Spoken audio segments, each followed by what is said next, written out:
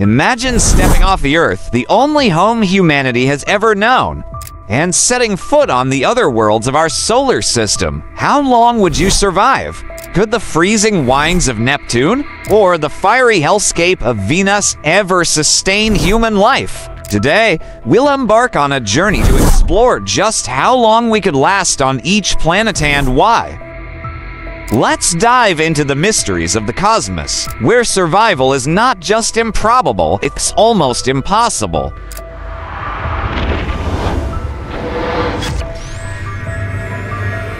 Our first stop, Mercury, the closest planet to the Sun. A world of extremes, Mercury has no atmosphere to buffer its searing temperatures.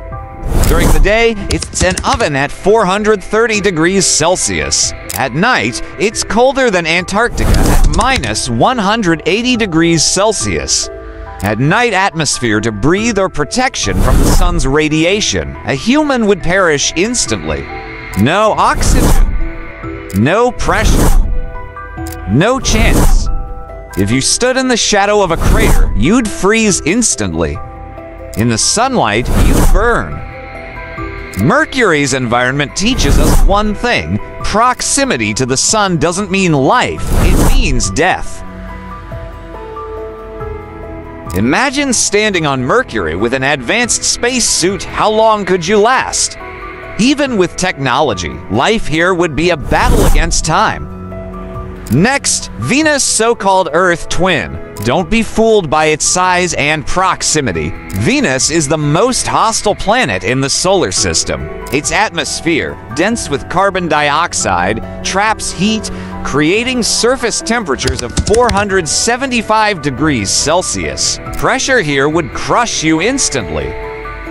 It's like being 900 meters underwater. And those clouds, they're made of sulfuric acid, Survival time, not even a second. Could Venus hold the key to humanity's next frontier, or is it just a deadly mirage? Earth, our haven in the cosmos, is uniquely equipped to sustain life. It has breathable air, liquid water, and a magnetic field protecting us from deadly solar radiation. The lesson life isn't just about existence, it's about balance. As we explore other worlds, we must remember the rarity of Earth's gift. Mars, the red planet, is humanity's next great hope. But how long would you last on Mars without a spacesuit, maybe to minutes? The thin atmosphere, mostly carbon dioxide, provides no oxygen. Temperatures average minus 60 degrees Celsius, and radiation from the sun would attack your cells, Yet, Mars is the most Earth-like of all planets. Scientists dream of terraforming its surface, building habitats, and growing crops under domes.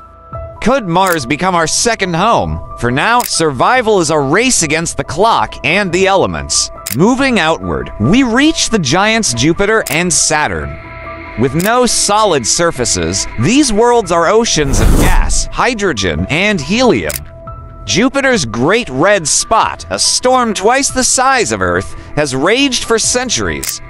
Saturn dazzles with its icy rings, but try landing here and you'd sink into crushing pressures and deadly radiation. Survival time, less than a second. Yet, their moons Europa and Titan offer intriguing possibilities for life.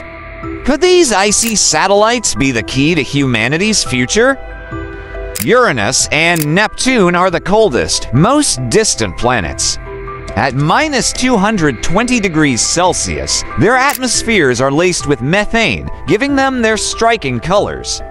These planets are ice giants, their interiors filled with water, ammonia, and methane. Survival impossible. But recent discoveries hint at diamonds forming deep in their cores a treasure trove waiting to be explored. Could robotic explorers one day unlock these icy mystery? Finally, we reach Pluto, a dwarf planet on the fringes of the solar system. With temperatures of minus 229 degrees Celsius and a thin atmosphere, survival here is fleeting. Yet, Pluto's frozen beauty reminds us that even the most desolate places hold wonder. Beyond Pluto lies the Kuiper Belt, a region of icy bodies. Here, the sun is just a distant star, a stark reminder of the fragility of life in the cosmos. Our journey through the solar system reveals a harsh truth. Earth is unique. It's the only place where humanity thrives. As we dream of reaching the stars, we must protect the world we call home. The cosmos may inspire us, but Earth sustains us. So, the next time you gaze at the night sky, remember each twinkling light is a reminder of how precious life is. What do you think? Could advancements in technology one day allow us to thrive on these distant worlds? Or will Earth always be our one true home? Let us know in the comments below.